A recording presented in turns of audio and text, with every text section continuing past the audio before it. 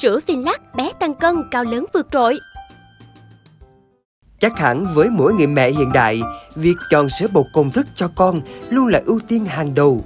Bởi lẽ, sữa bột công thức là nguồn thức ăn dinh dưỡng cần thiết trong nhiều trường hợp để cùng con yêu khôn lớn mỗi ngày.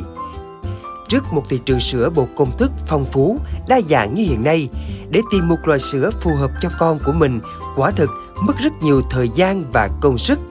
Với mong muốn mang tới nguồn dinh dưỡng tuyệt vời cho bé yêu của bạn, sữa Vinlac của công ty cổ phần Vinameco đã nhanh chóng chiếm được cảm tình của các em bé và mẹ bỉm sữa hiện đại.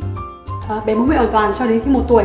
Mình phải đi làm nên là không còn đủ sữa để cho bé bú nữa. Vì vậy mình nghĩ đến việc sử dụng thêm sữa ngoài cho bé. À, mình đã thử cho bé vài loại không thị trường vì bé không hợp tác. Thực sự mình rất lo lắng vì mấy tháng liền bé không hề tăng cân và cũng chẳng hề cao lên. À, sau một thời gian tìm hiểu thì mình được một người chị giới thiệu sản phẩm sữa Vinlac à, trộm vía bé thử ngay từ hộp sữa đầu tiên từ bình sữa đầu tiên. Là sau khoảng 3 tuần thì mình thấy bé có vẻ bé có vẻ đầm tay hơn. Chắc là cũng có tăng cân. Sữa có vị gần giống với sữa mẹ nên là bé mình bé rất là thích. Nên có hôm mà mẹ đi làm tăng ca thì ờ, chỉ cần bà pha sữa cho là không cần mẹ nữa là có thể ngủ luôn được rồi. Uh, theo như mình tìm hiểu thì sữa Vinlac này là sản phẩm nội địa nhưng nguyên liệu nhập khẩu hoàn toàn từ New Zealand. Uh, sữa thì có 3 loại dành cho 3 giai đoạn là từ sữa từ 0 đến 12 tháng từ 1 đến 3 tuổi và từ 3 tuổi đến 10 tuổi. Thì bé nhà mình đang dùng số 1 bé nhà mình 18 tháng nên dùng số 1 uh, trộm vía là bé thân cân tốt và cũng cao rõ rệt luôn. Sữa Vinlac với khao khát nâng tầm vóc Việt cho trẻ em Việt Nam. Nên công thức sữa được nghiên cứu riêng dựa trên tỷ lệ thấp còi, suy dinh dưỡng của trẻ em nước ta, thấu hiểu hương vị sở thích và hơn hết là thể trạng của trẻ em Việt. Cái vấn đề tăng sức đề kháng cho các bé là một vấn đề rất là quan trọng. Bởi vì khi đứa trẻ mới ra đời nó phải tự mình không được còn được cái sự bảo vệ của người mẹ nữa. Và nó phải tự mình đương đương đầu với tất cả những cái yếu tố độc hại từ môi trường. Và đặc biệt ở Việt Nam chúng ta, bởi vì môi trường chúng ta cũng ô nhiễm, thực phẩm ăn uống cũng nhiều thứ ô nhiễm. Thế nên là cái hệ miễn dịch của bé là rất cần được tăng cường để củng cố. Đấy, nhất là chúng ta lại còn có cái thời gian giao mùa nữa. Từ mùa đông sang mùa hè, rồi ngược lại đấy là những cái giai đoạn mà rất nhiều các cái bệnh dịch và cái ờ, đối tượng mà đầu tiên chúng tấn công chính là các bé khi mà có cái hệ miễn dịch rất là non nớt đấy, thì đầu tiên là bé ra đời bé có được một cái lượng sữa non từ sữa mẹ, đúng không? Thế nhưng mà sau đó thì cái lượng sữa non từ sữa mẹ cũng sẽ giảm dần đi. Đấy.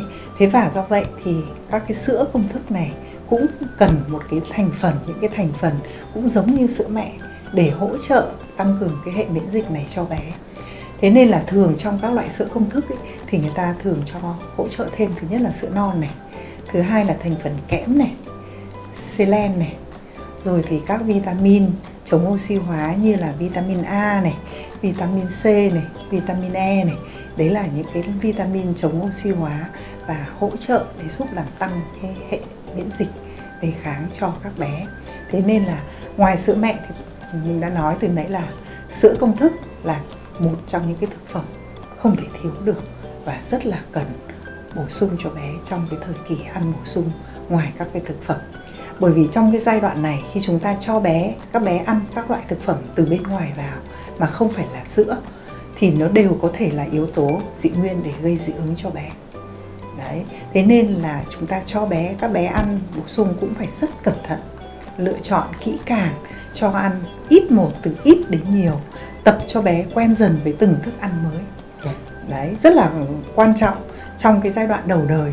Thế thì một trong các cái thực phẩm ngoài sữa mẹ thì đấy là sữa công thức là cái sữa mà đã được các nhà sản xuất cũng như là các cái thành phần hỗ trợ thêm. Gần như là được có thành phần công thức gần như là sữa mẹ. Và như bây giờ chúng ta chỉ còn thiếu mỗi kháng thể thôi đúng không? Thì chúng ta cũng có một cái có thể bổ sung thêm một cái lượng sữa non vào trong cái thành phần sữa công thức. Thì đấy là một cái thực phẩm rất là quan trọng cần thiết cho các bé. Sữa bột công thức là loại sữa duy nhất được cộng đồng y khoa cho phép thay thế cho sữa mẹ nhìn dưới góc độ dinh dưỡng. Vì hầu hết các loại sữa bột công thức đều lấy sữa mẹ làm gốc, nghiên cứu chế tạo ra công thức gần giống sữa mẹ nhất nhằm đáp ứng được các yêu cầu về tiêu hóa và hấp thụ của hệ tiêu hóa trẻ sơ sinh và trẻ nhỏ. Các nhà sản xuất khi mà cung cấp sữa thì họ đã phân loại rất là rõ ràng rồi đúng không ạ? Sữa dành cho bé từ 0 đến 6 tháng tuổi thì là sữa đã được tách bơ. Đấy, để làm giúp cho bé hấp thu chuyển hóa tốt hơn. Đấy hay là sữa từ 6 đến 36 tháng đấy là cái giai đoạn mà giữa đấy à, gọi là cái giai đoạn mà bé sử dụng sữa cũng tương đối nhiều nhiều nhất. Thì các cái vấn đề ở đây quan trọng nhất là gì? Là bổ sung các vi khoáng à, bổ sung để làm tăng cái hệ miễn dịch cho bé. À, đó là gì? Thường là đưa đưa vào như là kẽm là selen là canxi bổ sung thêm đúng không ạ? Hay là gì? Sữa non. Đấy rồi thì trong sữa thì thường là vitamin A cũng hơi bị thiếu ngay cả đối với sữa mẹ. Thế nên là à, trong các cái sữa công thức này khi mà bắt bé bắt đầu chuyển từ sữa mẹ không còn đáp ứng đủ nữa mà chuyển sang sữa công thức thì chúng ta phải các nhà sản xuất lại lưu ý ngay là vấn đề bổ sung các cái vi khoáng này. Đặc biệt là ba cái vi khoáng mà thường sữa mẹ không đáp ứng đủ đấy là vitamin A đấy là sắt đấy là kẽm.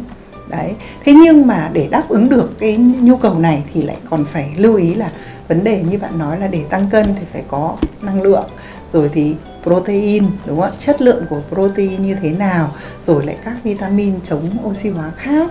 Rồi phát triển à, hỗ trợ để phát triển não bộ cho bé thì phải có omega 3 có DHA thì tất cả tất cả những yêu cầu này đều cần phải có trong sữa đặc biệt là sữa cho bé từ 6 đến 36 tháng tức là trên 36 tháng rồi, thì cái vấn đề là bé uống sữa nguyên kem rất là bình thường như đối với người lớn. Và lúc bấy giờ trong sữa chúng ta cũng phải lưu ý là bổ sung canxi để cho diện tăng trưởng chiều cao cho bé. Rồi thì omega 3 DHA chúng ta cũng lưu ý cần hơn. Và nhất là những vấn đề hỗ trợ tiêu hóa cho những bé mà 36 tháng lúc bấy giờ lại rơi vào còi cọc, rơi vào suy dinh dưỡng. Đấy, thì lúc bấy giờ những cái sữa chuyên biệt mà để dùng để điều trị cho bé bị còi xương bị suy dinh dưỡng hay là những trường hợp mà rối loạn tiêu hóa thì lúc bấy giờ chúng tôi lại quan quan tâm hơn bằng tâm huyết của các chuyên gia dinh dưỡng Vinlac đã mang đến công thức sữa ưu việt cho trẻ em trong nước. Sữa Vinlac được các chuyên gia dinh dưỡng trong nước đánh giá, phân tích giúp các mẹ có thể hiểu và an tâm. Các loại sữa công thức với hình thức đặc thù giúp cung cấp tối đa dưỡng chất cho trẻ đang là một trong những giải pháp tốt nhất để trẻ đạt được nhu cầu dinh dưỡng cần thiết. Trong đó, sữa Vinlac là một sản phẩm phù hợp để các mẹ có thể sử dụng đồng hành cùng con yêu khôn lớn mỗi ngày.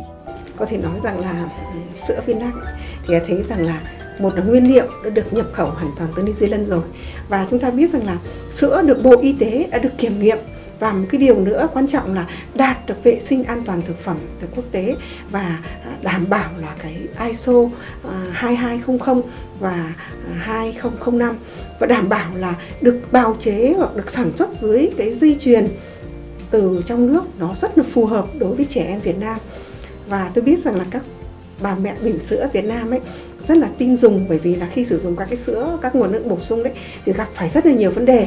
Trẻ đầy bụng, trẻ trướng bụng, trẻ tiêu hóa kém, ví dụ như là táo bón, ví dụ như là tiêu chảy, nếu mà sữa đó không phù hợp. Nhưng đối với dòng sữa Vinlac thì nó thấy là trẻ em rất là phù hợp. Sữa Vinlac này sản xuất, nó lại theo phụ thuộc theo mỗi cái giai đoạn phát triển của trẻ. Và trong ba giai đoạn đó giai đoạn thứ nhất là từ 0 cho tới 12 tháng tuổi giai đoạn thứ hai là từ 6 cho đến 36 tháng tuổi và giai đoạn 3 là từ 3 cho tới 10 tuổi. Vậy thì nó phù hợp cho từng giai đoạn. À, Vinlac này là một cái sữa mà có thể bổ sung rất là tốt. Bởi vì chúng ta biết rằng là ngoài các cái thành phần mà chúng ta biết rằng là nó cung cấp nhiều các thành phần dưỡng chất tốt ra, thì cái điều đầu tiên mà sữa này cung cấp đó là thành phần sữa non. Và đấy là cái điều rất là cần thiết đối với đối với cái trẻ. Bởi vì sữa non này cung cấp cho đảm bảo cái ờ, nguồn dinh dưỡng rất là tốt để đảm bảo là nó gần giống với lại sữa mẹ để cung cấp cho cho, cho chị và trẻ một cái hệ miễn dịch rất là hoàn hảo. Như vậy thì có khả năng chống đỡ được bệnh tật tốt hơn. Ngoài cái điều đó ra thì cũng cung cấp một cái thành những cái thành phần mà phải nói tới là cái thành phần protein ở trong sữa mẹ. Và nó tương tự như đối với sữa mẹ. Và thứ hai nữa là cái thành phần như là axit béo và phải kể tới là omega 3 omega 36 đều thành phần rất tốt và cho cái sự phát triển về cả về trí tuệ cho trẻ em. Ngoài đó ra thì phải nói rằng là những các cái vi chất dinh dưỡng như là sắt, như là à, magie, như là phosphor và các thành phần vitamin như là vitamin K để giúp cho trẻ hoàn hảo hơn về, thí dụ như là à, đối với sự phát triển có mỗi giai đoạn người ta vẫn nói là trẻ thì 3 tháng biết lẫy thì 7 tháng biết bò, rồi phản ứng với ánh sáng, rồi với tiếng động thì tất cả những cái sự đáp ứng này rất là tốt đối với trẻ em. Ngoài ra thì các cái thành phần vitamin về kể tới 13 loại amin, là các cái vitamin và 12 loại các loại khoáng chất rất là cần thiết cho trẻ và tôi biết rằng là trong cái quá trình mà sử dụng các cái loại sữa này thì các cái bà mẹ bỉm sữa thấy rằng là tiêu hóa của trẻ tốt, trẻ ăn ngủ tốt hơn, trẻ tăng cân và như thế người ta thấy rất yên tâm khi sử dụng sữa này ở giai đoạn thứ hai từ 6 cho tới 36 tháng tuổi thì đối với cái giai đoạn này thì cái sự phát triển về cân nặng, phát triển về chiều cao vẫn là cần thiết cho trẻ và đảm bảo các thành phần các cái thành phần dinh dưỡng trong đó phải kể tới cái protein trong sữa. Nếu là ở những viên đắc không thì cái lượng protein chỉ đạt tới là 0,86 thôi thì ở cái dòng um, Vilac 1 này thì sẽ đạt tới nó tăng lên mức độ 6,4 mg cho một ly gam sữa chuẩn như vậy thì thấy rằng là cái lượng protein đã được tăng thêm. Ngoài ra cái lượng năng lượng cũng được tăng lên so với cái dạng trước kia bởi vì theo mỗi cái giai đoạn phát triển của trẻ thì cái, cái sự phát triển về chiều cao phát triển của cân nặng nó nhu cầu khác ở mỗi một giai đoạn nếu là cái năng lượng bình thường là 36,33 thôi thì trong giai đoạn này thì đã tăng lên là 169 mg. Và chúng ta biết rằng là các cung cấp thêm các cái thành phần một trong những thành phần đó bổ sung những thành phần à, omega 3, omega 6 và đặc biệt là các cái năng lượng kèm theo vẫn cần thiết và các cái vitamin đảm bảo là cung cấp đủ 13 loại vitamin và 13 các các cái loại yếu tố vi lượng. Như vậy rất là cần thiết trong cái giai đoạn này để giúp cho cái sự phát triển của trẻ được tốt hơn. Và các cái bà mẹ bỉm sữa người ta sử dụng, người thấy rằng là trẻ ăn được này, ngủ được này, không có cái hiện tượng như mà một số các trẻ em hay gặp phải. Ví dụ như biếng ăn này, ví dụ như là đầy bụng này, có thể là không hợp sữa thì có thể tiêu chảy, cũng có thể là táo bón, nhưng hoàn toàn tiêu hóa rất là tốt. Bởi vì cung cấp các thành phần chất xơ hòa tan giúp cho hệ tiêu hóa của trẻ được hoàn hảo hơn và hấp thụ thức ăn tốt hơn ngoài điều đó ra thấy rằng là người ta thấy rằng là cái cân nặng của trẻ thì thấy là trong cái vòng mà trong khoảng từ 3 đến 4 tuần thì cái cân nặng của trẻ tăng từ 0,5 cho tới 1,4 kg thì có thể nói rằng đây là cái sự rất lý tưởng bởi vì đối với trẻ đang biến ăn đang khó khăn trong việc ăn và như vậy thì chúng ta bổ sung một cái lượng dinh dưỡng rất là hợp lý và trẻ tăng cân như vậy thì các bạn mẹ bỉm sữa Việt Nam rất tin dùng và cảm thấy người ta thấy rằng là rất rất phù hợp đối với trẻ em Việt Nam. Giai đoạn 3 đến 10 tuổi thì đây cũng nằm trong giai đoạn vàng để cho sự phát triển à, thể chất phát triển chiều cao phát triển trí tuệ của trẻ. Đây là điều rất là cần thiết. Và chúng ta biết là trong giai đoạn này chúng ta vẫn cần phải bổ sung. Nếu chúng ta không bổ sung bởi vì trong cái nguồn à, sữa Vinac này có loại Vinac 2 thì thấy rằng là rất cần thiết cho cái sự phát triển của trẻ. Từ chiều cao cân nặng bổ sung các cái thành phần vitamin từ 13 các loại à, vitamin 13 các cái loại vi chất dinh dưỡng kèm theo đó là các cái axit béo đặc biệt là omega 3, omega 6 tuy nhiên là có một thành phần bổ sung nữa đó là DHA đây là thành phần rất là quan trọng để khi mà chúng ta biết là trong giai đoạn này làm thế nào để trẻ nhanh lớn hơn này phát triển chiều cao tốt hơn này và thông minh hơn giúp cho cái sự ổn định kể cả về thần kinh trung ương rồi là có bổ sung cả những thành phần như iốt chẳng hạn thì có thể giúp cho phát triển của tuyến giáp và các cái vi chất dinh dưỡng khác. Ngoài ra thì phải nói rằng à, canxi đóng một vai trò rất là quan trọng giai đoạn này để phát triển cái chiều cao và thể chất cho trẻ. Do vậy mà cái lượng canxi trong một à, một ly sữa thì sẽ tăng cao hơn ở trong giai đoạn này và củng cố tất cả các cái thành phần vitamin và khoáng chất như là magie rồi là à, phốt pho rồi các cái thành phần như là sắt như là kẽm.